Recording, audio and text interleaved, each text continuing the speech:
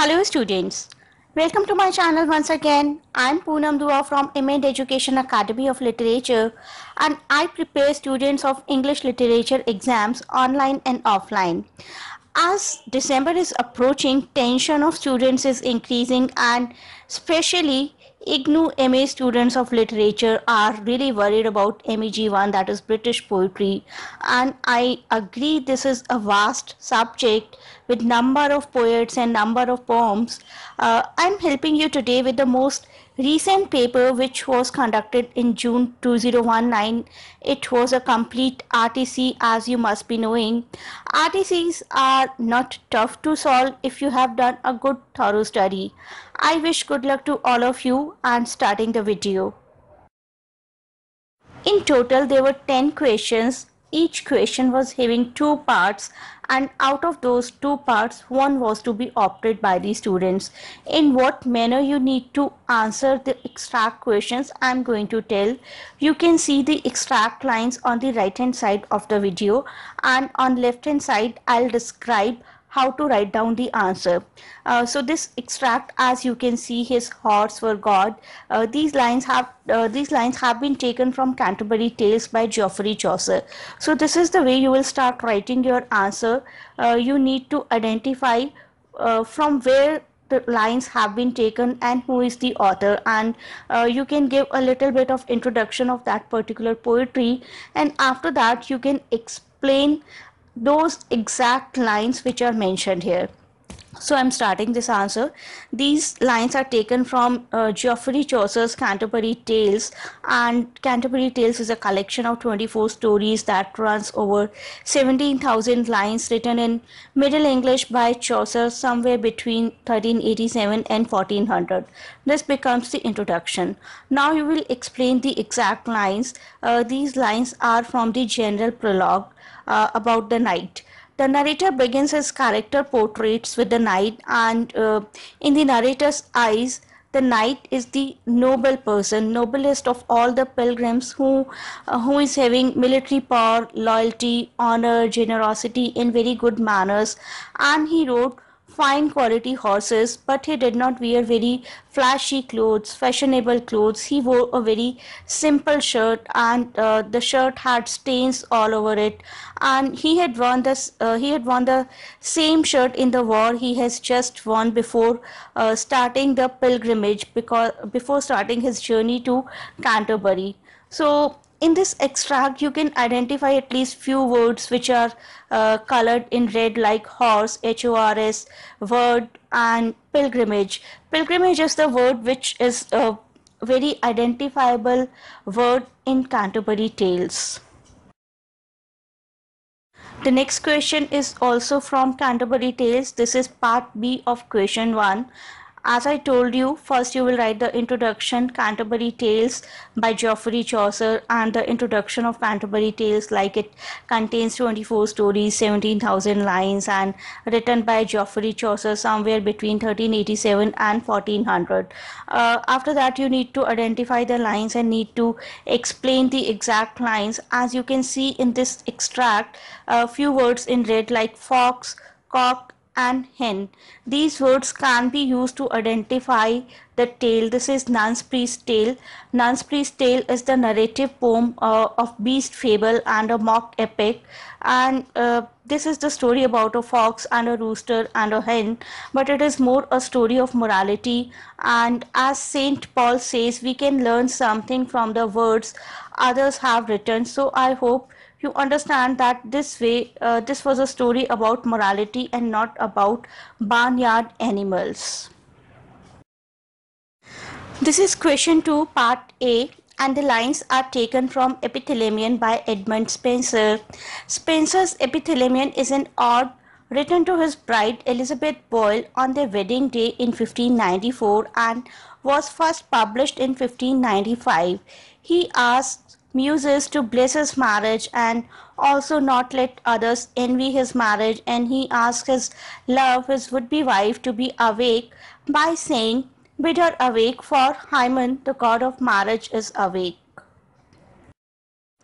The next part 2b This was from Prothalamion. It was also written by English poet Edmund Spenser in 1596 in celebration of the engagement of Elizabeth and Catherine Somerset, the daughters of the Earl of Somerset.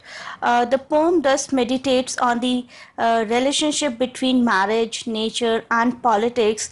It celebrates the beauty of the brides, the perfection of their marriage, and the natural world as a uh, respite, as a freedom from the political complications of life at court. Uh, written as a song honoring the marriage of Elizabeth and Catherine Somerset, as I told, Spenser's poem Prothalamion centers its theme of celebration around the river Thames, which is key symbol and setting uh, images and ideas of beauty uh, surrounded by the Thames, such as nymphs gathering flowers crown for the two sisters.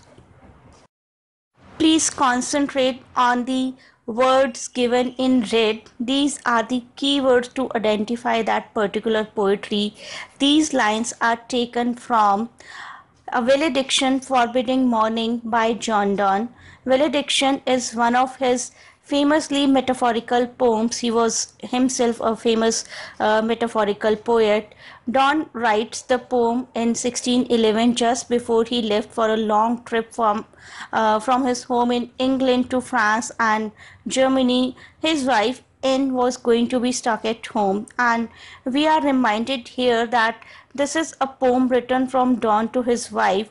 Donne's wife is considered to be the fixed foot of the compass, meaning the one that stays planted in the center of the circle, and John Donne is the other edge of edge of the compass, uh, revolving around that fixed foot. This is question 3b. The Pulley by George Herbert. Uh, the poem is built around the conceit of imagining God in the process of making human beings.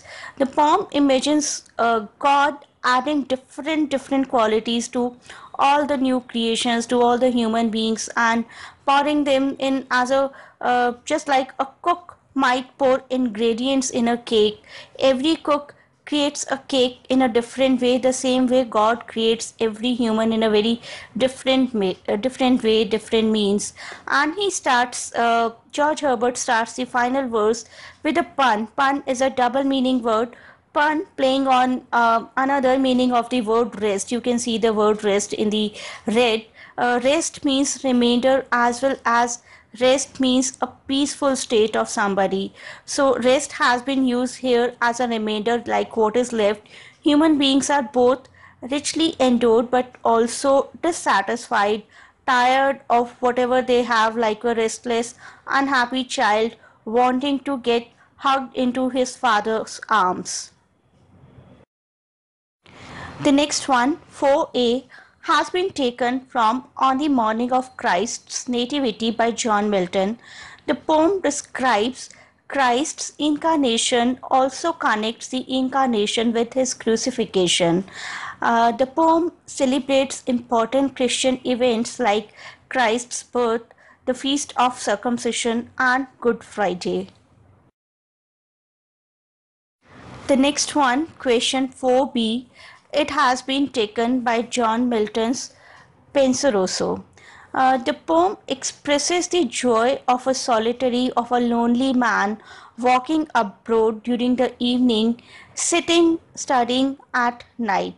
Milton invokes melancholy, sadness, asking her to come to him in her usual uh, demeanor, in her usual behavior and dress. And he also requests that uh, the melancholy, the sadness, bring with her some other attendants that are helpful in the poet's work, like peace, quiet, fasting, contemplation, silence, and the muses, of course. The next one is taken from Mac Flecknoe by John Dryden. Uh, Mac Flecknoe is a verse mock heroic satire written by Dryden and it is a direct attack on Thomas Shadwell another prominent poet of the time. Uh, back to the realm of nonsense, where Shadwell is uh, shown to be the next king of stupidity and he is shown to be a complete ignorant person. This one is taken from Epistle to Dr. Arbuthnot, question number 5b. Uh, this is a poetical work by Alexander Pope. The Epistle to Dr. Arbuthnot is a satire in poetic form written by Pope and addressed to his friend John Arbuthnot, a physician. Uh, this part talks about Pope's life as a writer. He starts explaining why he writes and he says that he wrote not out of any compulsion. He found it hard to learn numbers, but it is not hard for him to write poetry.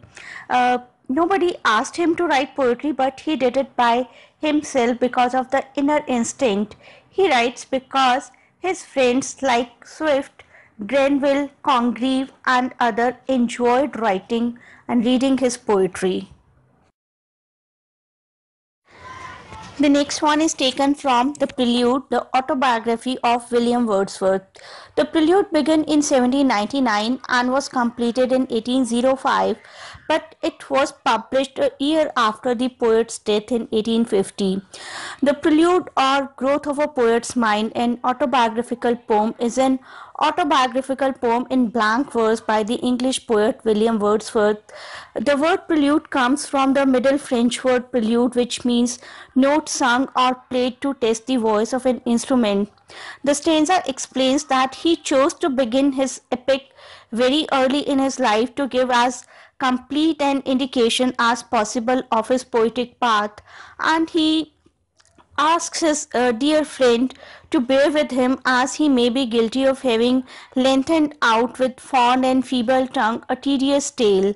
An individual life is thus recognized as perhaps inspirational only to one who have lived it. This one is taken from Kubla Khan by S.T. Coleridge. Kubla Khan or A Vision in Dream, a fragment is a poem written by S.T. Coleridge, completed in 1797 and published in 1816. These final lines of Kubla Khan shows the theme of supernaturalism in the poem. The bewitched man, the enchanted man who is the subject of these lines can no longer exist a normal person after seeing the wonders of nature in the foreign land of Xanadu and the person who drinks the milk of paradise is the person who is the subject of the poem Kubla Khan. The next one, 7a, Triumph of Life, poem by P.B. Shelley. Uh, in this poem of Shelley, life is shown to be a triumphant figure and the subject of this poem is human life and the plenty of old and new influences that complete to give the life a meaning. One of the ironies of Triumph of Life is that uh, the poet's guide is blind as blind perhaps as the four-faced charioteer who guides life's car so badly. The narrator learns why and how the figure in life's triumphs have been defeated. The next one, Hyperion by John Keats, uh, this is an epic poem by 19th century English romantic poet John Keats and tells of the uh, sad story, the despair of the Titans after their fall to the Olympians. The Titans, defeated by the new Olympian gods, mourn their sad loss of empire and they uh, the still unfallen Hyperion continues his struggle but uh, must eventually accept a defeat. Saturn was the chief of the Titans while Jove or Jupiter was the supreme leader of the Olympians. The grey-haired Saturn had after his defeat taken shelter in a uh, remote and shady place in a valley where uh, he saw Saturn quite uh, as a stone and perfect silence prevailed around him. He was feeling absolutely lifeless and his right hand lay nerveless on the ground looking like the hand of a dead body. There was no longer the divine rod of authority in his hand and he sat there uh, in a state of deep sadness with his eyes closed. These lines are taken from the bishop ordered his tomb at St. Paul's Church and uh, the writer, the poet is Robert Browning. The poem uh, begins with a dramatic setting. An anonymous bishop lives on his verge of death, and his uh, devotees are surrounding him. Uh, they are uh, they come around his bed without any interaction and they stand around his deathbed and listen to his speech. The speech is their mission, should they choose to accept it, is to go digging in a vineyard and find an oil press. Then they will find, and after these lines, maybe the bishop forgets what he is about to say. That is why uh, you can see some lines in red on the right side, like, and if ye find, then there is a pause. Oh God, I know not. That means the bishop has forgotten what he was about to say. The next lines are taken from the Ballad of Reading Gaol by Oscar Wilde. Uh, the Ballad of Reading Gaol is his most successful poem and uh, was the last great work written before his death, death of Oscar Wilde in 1900. The line is a dedication to Shakespeare's The Merchant of Venice when Bassanio asks, Do all men kill the thing they do not love?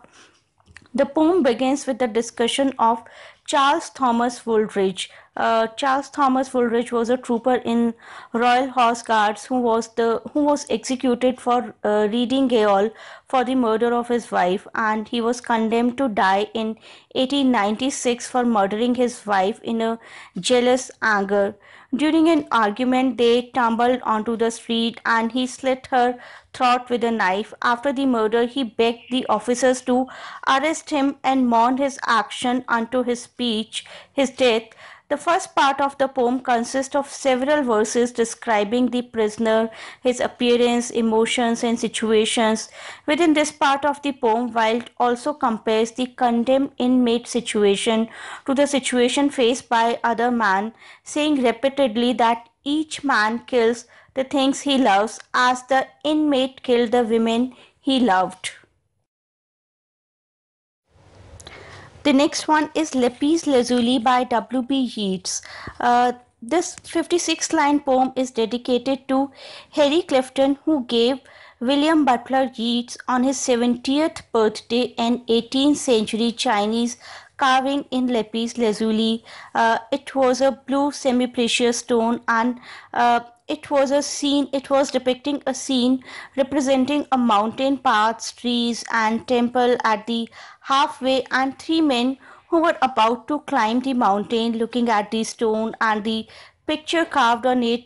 Yeats imagines that uh, when these three old men will reach that small house or temple, maybe at halfway up, uh, will sit there and look down at the world, then they will observe the rise and fall of other civilizations, upcoming wars, and the triumph of art, music, and literature over these tragic events through their old, matured, and happy eyes when uh, this poetry was written in 1936, uh, Europe was both emerging from an economic depression and heating up for war. Hitler and Mussolini kind of figures were gathering themselves in Germany and Italy, and the Spanish Civil War was running its course towards France.